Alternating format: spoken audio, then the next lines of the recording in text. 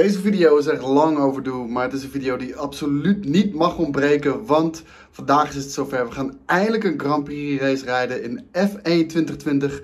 Het shirtje verraadt al een beetje voor welk team we gaan rijden. En zoals je hier ziet heb ik mijn, uh, mijn setup al klaargezet. Een setup waar uh, aardig dingen al, zijn veranderd de afgelopen tijd. Dat is ook de reden waarom je deze video uh, straks in ultra-wide op YouTube kan gaan zien.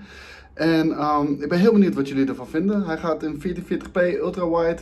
60 eh, frames per seconde worden uitgezonden. Dus ik hoop dat het er vet gaat uitzien. Uh, laat het me vooral weten in de comments. En um, ja, rest mij niks anders dan uh, gewoon te gaan zitten. En even een race te gaan rijden op Zandvoort. Oh, en bijna vergeten. Even voor de kijkers van de Game King stream van afgelopen vrijdag. Boom! Het is me gelukt. Jordan Ones mid in de originele Chicago colorway ja, fucking gruwelijk. Ik uh, ben super excited dat ik hem nog kon, uh, kon redden. Ik moest rennen naar Damrak. Het was ook het laatste paar wat ze hadden, maar hij is in de bag.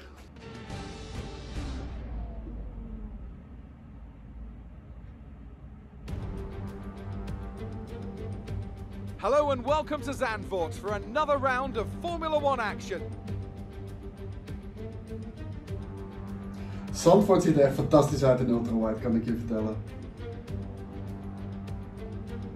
Zandvoort circuit, 14 corners, 10 to the right and 4 to the left, with plenty of steep camber and elevation changes to keep our drivers on their toes throughout a 2.6 mile lap.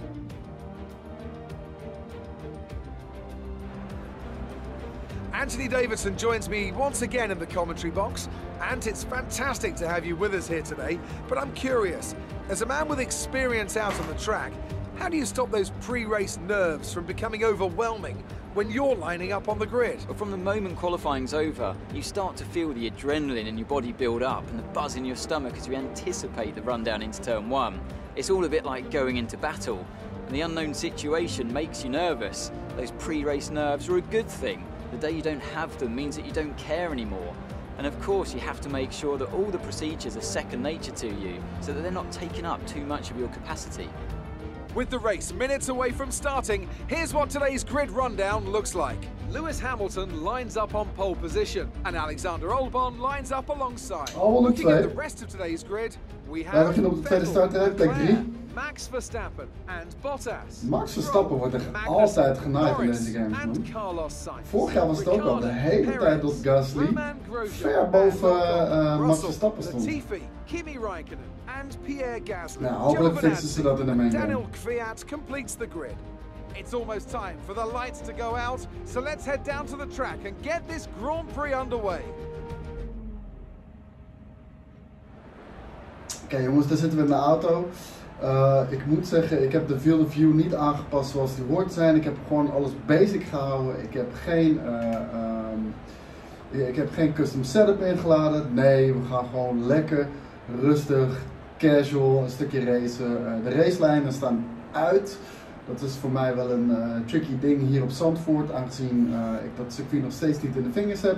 Dat zal na volgend jaar zal dat een groot verschil zijn natuurlijk, want uh, dan heb ik al een heel jaar lang deze game kunnen spelen en ook genoeg uh, vaak deze track gereden en ervaring opgedaan.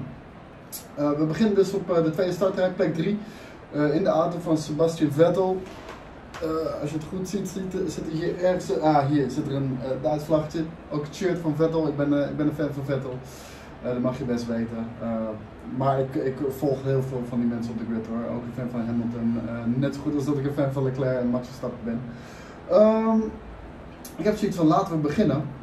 Dit is dus een ultra-wide. Uh, een van de voordelen die je eigenlijk hebt bij een ultra-wide is dat je je spiegels kunt zien. zoals je hier wel, kunt checken.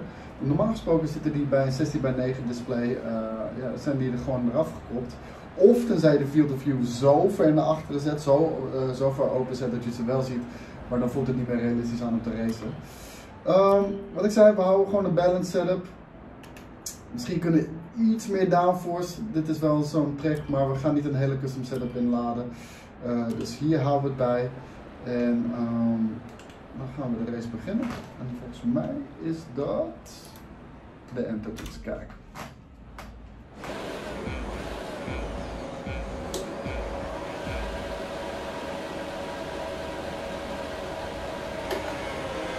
En dan gaan we jongens.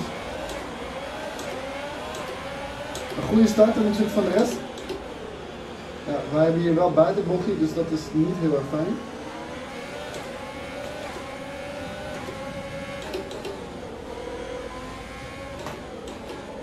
Nog steeds niet helemaal duidelijk voor mij welke lijn ik moet nemen met deze bocht, maar we zijn er levend uitgekomen in ieder geval. Hele vette bocht wel trouwens hoor, die banking ook. We gaan voor een podiumplek vandaag, hoeven niet, niet per se te winnen.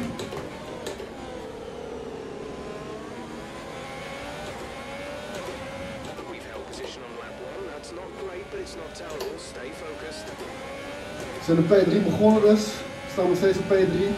Ze lijken voor, uh, voorin wel wat weg te rijden bij me. Dit is een bocht waarbij je echt heel veel kunt verliezen. Kijk, als je zoals mij hier de barrière raakt.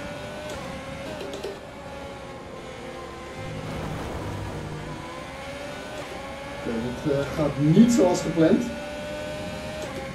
Ik heb ook helaas geen oefenrondje gereden. Waarom hier even dicht?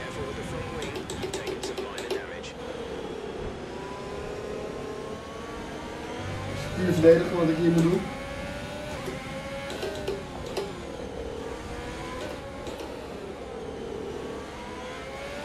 ben hier wel eens één keertje buitenom gegaan. Uh, moet eigenlijk niet kunnen, maar wel heel erg leuk om te doen. Ik ben benieuwd of we nu bij deze bocht uh, iets te zien gaan krijgen van het feit dat we geen uh, minder downforce hebben.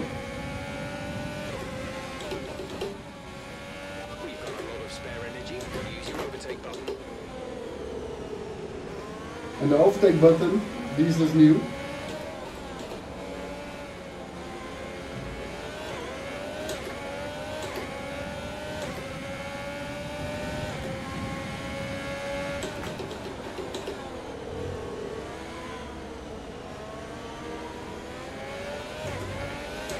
het kan best zijn dat je wat uh, zweetdruppels op mijn voorhoofd ziet. Want het is bijzonder warm in deze studio en ik heb speciaal voor deze opnames de, de ventilator uitgezet.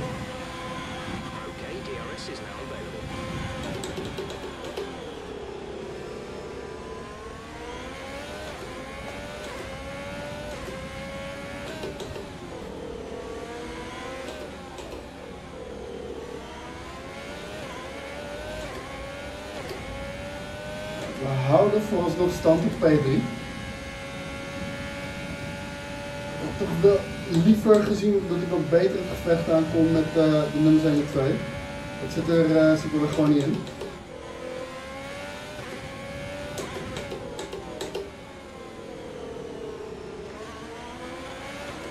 Erg langzaam met deze bocht hoor.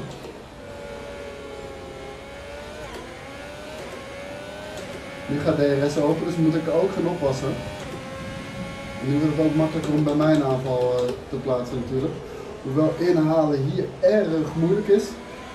Het zal voornamelijk toch uh, bij bocht 1 gebeuren, daar is een bocht.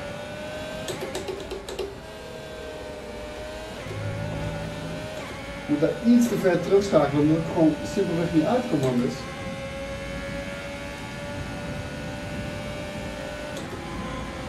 Kijk, en daar gaat hij al.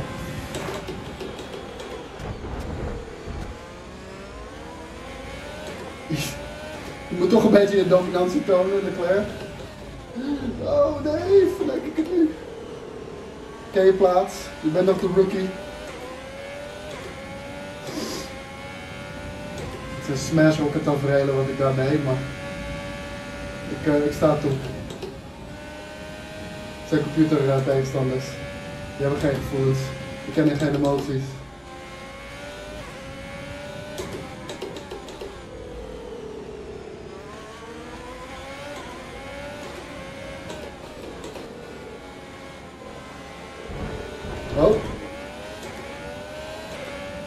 Ik probeer, probeer zijn wraak te nemen. Ik voel hem wel hoor. Dat was ook zeer terecht namelijk.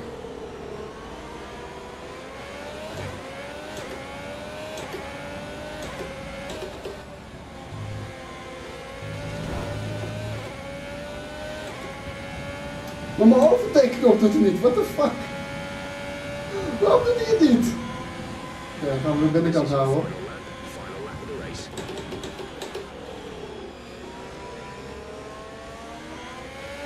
Ik weet niet waarom het niet doet. En dit kan nog best wel eens problematisch worden.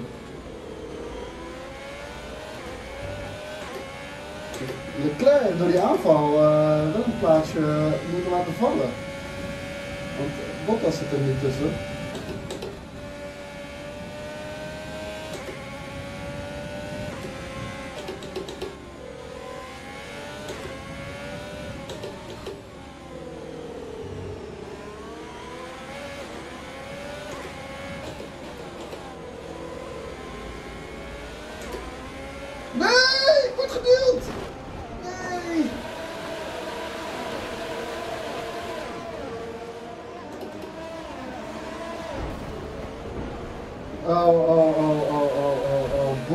Bottas, Bottas.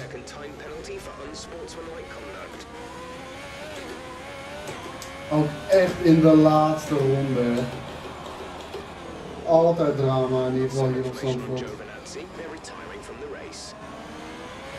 Nou, wij gaan hem wel uitrijden, maar we hebben wel flinke schade.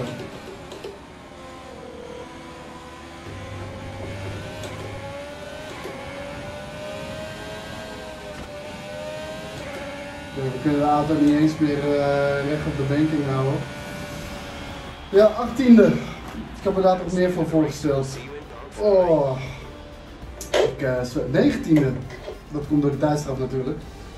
Oh, oh, oh. Driver of the day, Daniel Kvyat. Ja, dat is pijnlijk. Het is pijnlijk. Ik begon toch een beetje het gevoel te krijgen dat we onze pace begonnen te vinden. In, uh, in, vanaf ronde 3 ongeveer, denk ik. En dat we die eerste aanval van uh, Leclerc hebben afgeslagen. Ja, en dan heb je die, uh, die goede doordraaien. Bijna een hairpin. En ja, dan heb je maar één klein tikje van achteren nodig. En die staat natuurlijk over dwars. Ja, daarna is het gewoon onmogelijk om weer je weg terug op de weg te vinden. Zonder, zonder daarbij mensen te raken of te wachten totdat letterlijk alles in iedereen voorbij is ik had er op een gegeven moment gewoon scheid aan uh, en reed maar weer de baan op. Uh, helaas, geen podiumplek dus, uh, waar ik wel op had gehoopt. Maar wel vast een leuke blik op Zandvoort. Helaas niet na 35 jaar dit jaar, maar hopelijk wanneer volgend jaar alle rare problemen van deze wereld opgelost zijn, dat we, dat volgend jaar wel mogen gaan racen op Zandvoort. Hoe dan ook, dit was een race op Zandvoort. Ik hoop dat jullie ervan hebben genoten. Uh, ik wat minder wat dat betreft. Maar uh, geniet er nog heel even van. En uh, we checken elkaar de volgende keer weer. Bedankt voor het kijken. En ik check jullie later. Ciao!